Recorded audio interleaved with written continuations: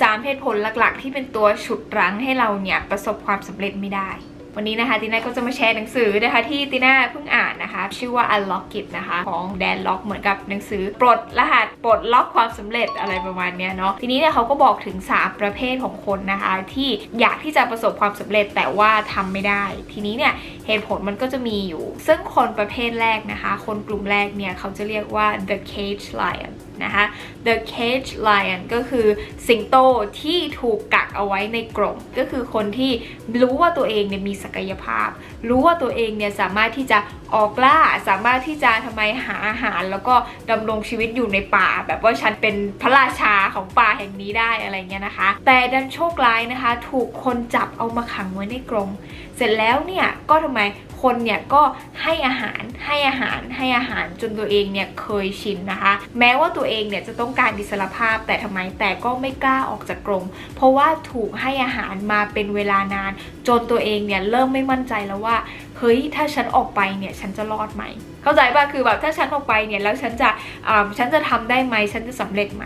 คนกลุ่มนี้เนี่ยส่วนใหญ่ก็คือคนที่ทำงานประจำทำงานประจำตั้งแต่ทำไม8โมง9โมงแล้วก็เลิก5โมงนะคะทำแบบนี้ทุกวันทุกวันทุกวันทุกวันทุกวันจนเคยชิน แล้วคนที่ให้อาหารก็คืออะไร ก็คือคนที่ให้เงินเดือนนั่นเอง พอเราทำแบบนี้จนชิน พอเราทำแบบนี้เป็นเวลานานเนี่ยมันก็ทำให้เรารู้สึกว่าไม่มั่นใจถ้าเราเนี่ยจะออกไปเริ่มต้นอะไรใหม่ ถ้าสมมุติว่าเราเนี่ยมีความฝันว่าอยากที่จะเริ่มทำธุรกิจ เราก็เริ่มไม่มั่นใจแล้วว่าเฮ้ยปกติเราก็ได้เงินเดือนอยู่ทุกเดือนทุกเดือนทุกเดือน ถ้าเราออกไปเราจะไหวไหมวะแล้วถ้าเราไปแล้วมันไม่สำเร็จอะเข้าใจไหมมันเหมือนเลยนะคะ มันเหมือนกับสิงโตตัวนั้นเลยก็คือ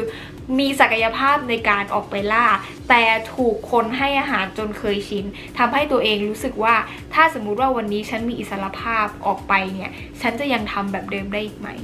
นะคะ เพราะฉะนั้นเนี่ยลองดูเนาะว่าตัวเองเนี่ยเป็นสิงโตที่อยู่ในกรงหรือเปล่า ต่อไปนะคะคนกลุ่มที่2เนี่ยก็คือ the chain magician นะคะ the chain magician ก็คือนักมายากลนะคะที่ถูกล่ามโซ่ไว้อ่านักมายากลก็คือคนที่ทำไมเหมือนมีเวทมนต์เลยใช่ไหมสามารถที่จะเสกสามารถที่จะทำอะไรก็ได้ คือมีความสามารถ แต่ถูกล่ามโซ่ไว้ด้วยคนรอบข้างเพราะว่าคนรอบข้างเนี่ยอาจจะเป็นคนธรรมดาอาจจะไม่ใช่ magician นะคะ เขาก็จะคอยบอกคอยย้ำตลอดว่า เธอทำไม่ได้หรอก เธอจะไปทำแบบนั้นทำไม จะลำบากทำไม เฮ้ยจะไหวหรอ จะรอดหรอ แล้วถ้าเป็นแบบนั้นแล้วถ้ามันไม่สำเร็จล่ะแล้วถ้ามันล้มเหลวล่ะทำไมไม่ทำตามที่คนอื่นๆเขาทำกันมา คนประเภทนี้นะคะ ก็คือคนที่ถูกคนรอบข้างนะคะ กลบศักยภาพของตัวเอง คือตัวเองเนี่ยมีความสามารถสามารถที่จะทำอะไรได้หลาย ๆ อย่างนะคะ แต่เป็นเพราะว่าคนรอบข้างเนี่ยคอยกรอกหูอยู่ตลอดเวลาว่า เธอทำไม่ได้หรอก เธอแน่ใจหรอว่าจะทำสำเร็จ พอถูกคนรอบข้างย้ำซ้ำๆซ้ำๆซ้ำๆแบบนี้บ่อย ๆ บ่อย ๆ เนี่ย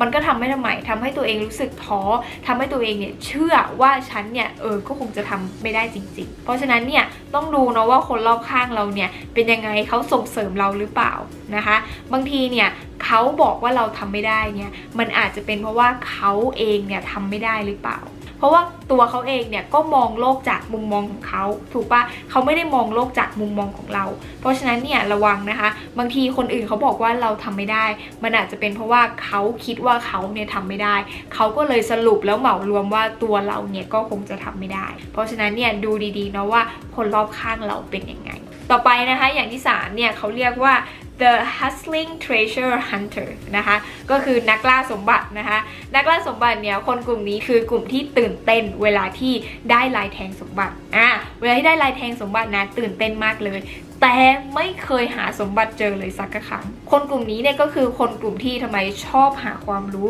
ชอบอ่านหนังสือชอบเข้าคอร์ส ชอบแบบชอบรู้เก็บสะสมความรู้ปั๊บปั๊บปั๊บปั๊บ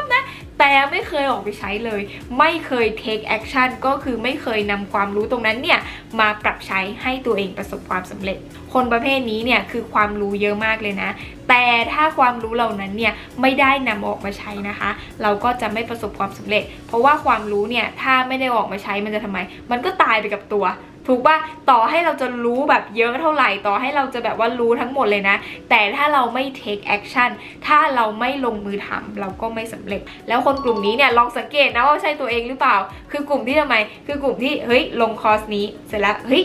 มันไม่ได้ผลว่ามันดูแล้วมันก็ยังไงไงไม่รู้เดี๋ยวไปดูคอร์สใหม่ดีกว่าเอ้ยเดี๋ยวคอร์สนี้เดี๋ยวมีคอร์สนึงเดี๋ยวคอร์สนึงสอนสอนเรื่องอะไรสอนเรื่องการทำสื่ออีกคอร์สนึงสอนเรื่องบิตคอยน์อีกคอร์สนึงสอนอสังหาสอนหุ้นคือแบบว่ามีลายแทงเยอะไปหมด มีลายแทงเยอะไปหมด แล้วก็อยากรู้เยอะไปหมดเลย แต่ไม่เคยที่จะทำไมมุ่งมั่นแล้วก็ลงมือทำกับสิ่งสิ่งเดียวเลย นะคะ เพราะฉะนั้นเนี่ยถ้าเราสังเกตดูดีๆนะ ไม่ว่าจะอาชีพไหนสาขาไหนหรืออะไรยังไงนะ มันจะต้องมีคนที่ประสบความสำเร็จ มันจะต้องมีคนรวย แต่คนที่ประสบความสำเร็จเขาแตกต่างจากคนที่ทำไมไม่ประสบความสำเร็จยังไง มันแตกต่างตรงที่ว่าเขาเนี่ยยึดในสิ่งสิ่งนั้น แล้วก็มุ่งมั่นทำสิ่งสิ่งนั้นให้เต็มที่และดีที่สุด เพราะฉะนั้นลองดูเนาะว่าตัวเองเนี่ยเป็นนักล่าสมบัติหรือเปล่านะคะ พยายามหาลายแทงแต่ว่าไม่เคยที่จะเจอสมบัติหรือเปล่านะคะ ยังไงก็ลองดูนะคะ และนี่นะคะก็คือ 3 กลุ่มคนนะคะที่มีปัจจัยที่แตกต่างกันที่ทำให้ตัวเองเนี่ยอาจจะทำไมไม่ประสบความสำเร็จได้ ลองดูเนาะว่าตัวเองเป็นคนประเภทไหนนะคะ หรือว่าถ้าใครอยากคอมเมนต์ข้างล่างนะคอมเมนต์มาได้เลยว่าตัวเองเป็นคนประเภทไหนนะคะ แล้วจะแก้ไขยังไงดี ยังไงก็ลองคอมเมนต์มาเนาะเดี๋ยวตีน่าจะทำให้อีกคลิปหนึ่งนะถ้าสมมติว่ามีคอมเมนต์เยอะๆนะคะ ว่าเราสามารถแก้ไขยังไงได้บ้างสำหรับคลิปนี้นะคะทีน่าก็มีเท่านี้ ถ้าใครชอบคลิปนี้นะคะ สามารถกดไลค์แล้วก็ subscribe ได้ที่ทีน่าบิสนะคะ หรือว่าจะไปตามทีน่าใน Facebook ก็ได้นะคะ แล้วก็เจอกันใหม่คลิปหน้าค่ะ สวัสดีค่ะ